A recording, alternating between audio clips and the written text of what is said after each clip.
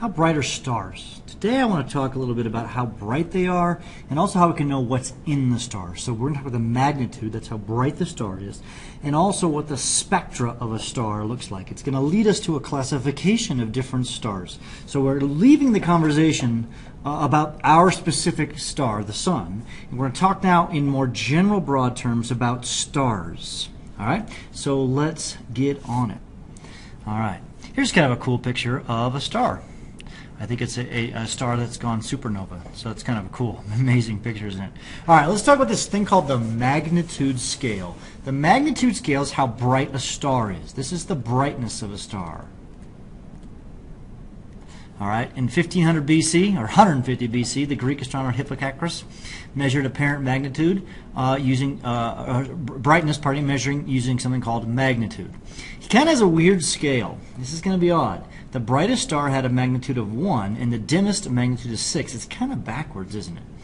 All right, the system is still used today, and the units of measurements are called apparent magnitudes to emphasize how bright a star looks to the observer. Because you can see, if a star is here, uh, let's say that you're, um, well, basically, if you're closer, let's say that you're standing right here, and there's a star at this particular distance, and then there's another star that's back here, and it might be brighter. I'll make a darker box or uh, circle. It might be brighter, but to the uh, the view of this observer, these two stars may actually look at the same level of brightness. It's called their apparent magnitude.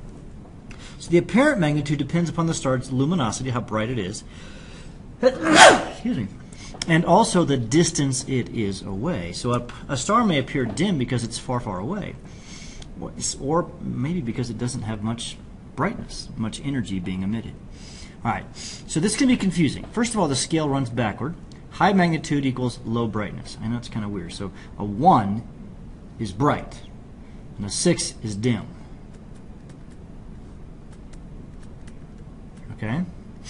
Although modern calibrations of these scales create negative magnitudes. There's actually ones that might have a negative 2 magnitude, and that would be very bright. Okay? You'll get the idea here in just a second. All right. Now we can also measure something called the absolute magnitude. That's how bright the star actually is. Okay? So the absolute magnitude is the magnitude the star would have if it was at 10 parsecs. That means if it was 10 parsecs away, which I think is like 19 million miles. So if it, or no, more than that. It's like three light years. So it's about three light years away. So if we put all the stars, if here, here you are on the Earth, and we put all the stars at three light years away, of course, the brightest one we would see, we could measure them. So that's their absolute magnitude. The absolute magnitude of a zero, you can have a zero. I know this scale was from one to six, but we've changed that over time.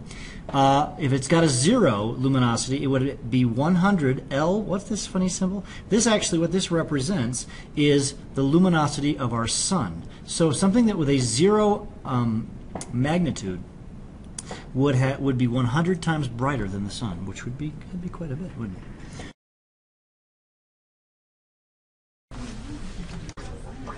Astronomers use a second technique to categorize the stars. This is Betelgeuse, a red giant 130 parsecs away. This is Gomeisa, a small blue star 52 parsecs away. If both stars are placed at 10 parsecs, it is apparent which would appear brighter. This method is used in determining the nature of the star. This is called absolute magnitude. Consider these two objects. The flashlight is a very bright blue light. The candle is a muted yellow or red light. In this picture, the flashlight is placed 10 feet behind the candle. However, they appear to be equally bright. This represents measuring apparent magnitude. But in this picture, when the flashlight and candle are placed at an equal distance, we can see that the flashlight is much brighter than the candle. This represents measuring absolute magnitude by measuring the brightness of stars as if they were all equally distant from the Earth. All right. Now, so that's our, our quick talk about uh, magnitudes. Let's now move and talk about the spectra of stars. So if I look at a star through a spectroscope, remember spectro- spectroscopy? I must talk about spectroscopy. That's the, the putting it like through a prism, or we did it in class um, in a lab and stuff. So the star spectrum typically depicts the energy it emits at each wavelength. Remember this little picture in the background kind of gives us, you know, the, the Roy G. Biv thing. But it can also reveal a star's composition, temperature, luminosity, velocity in space, rotation speed, and other properties. So if you look at a spectral uh, the spectrum, you can find out so many things. You can find out its composition, that's what's in it, its temperature, okay, we know what that means, its luminosity, that's how bright, its velocity, how fast it's moving away from you, its rotation speed, and other properties. On certain occasions, it may even reveal mass and radius. It has to be with a binary star, as it turns out. All right, as light moves through the gas of a star's surface layers, atoms absorb radiation at some wavelengths, creating dark absorption lines in the spec- star's spectrum. So this is when we're talking about its composition. How do I know what's in a star? Okay, atom. Every atom creates its own unique set of absorption lines. We did a spectroscopy lab, so hopefully this will make sense. And it determines a star's surface composition, and it's then a matter of matching a star's absorption lines to those of known atoms write that down, but let me just show you a picture. It'll make a lot more sense. So if I have a star, not necessarily our star, any star, and then there are atoms in the star, and this is a, a picture of the atoms in the electron orbitals. All right, and as the energy from this star causes the as these atoms, these electrons, to jump to higher levels, it creates a spectrum that looks like this.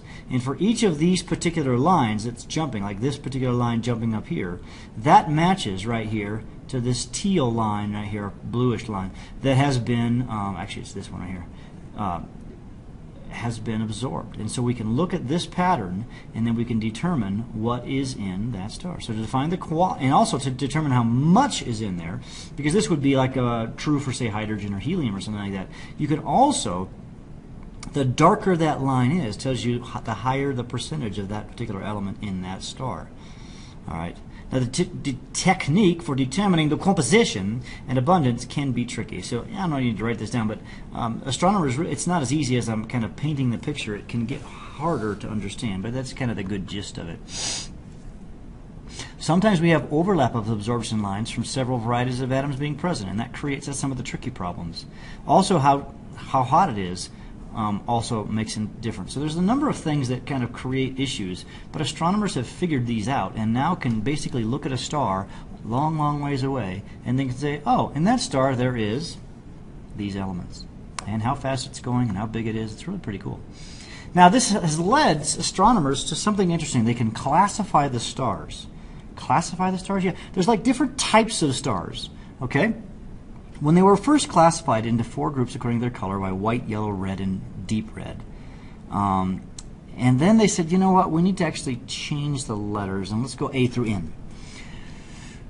So that's how they did it early, and then we've kind of changed everything around. Okay, we meet this gal, um, Annie Jump Cannon, and she decided um, that as she looked at stars, um, they were more orderly in appearance if they rearranged by temperature. So instead of A through N, she decided that um, the, the letters would be um, totally out of order. Now, I wish they would have rechanged the orders, but these have to do with their temperature. So we put them by coldest to hottest, where O is the coldest, I believe, and M is the hottest. I might be backwards on that, but I think that's correct.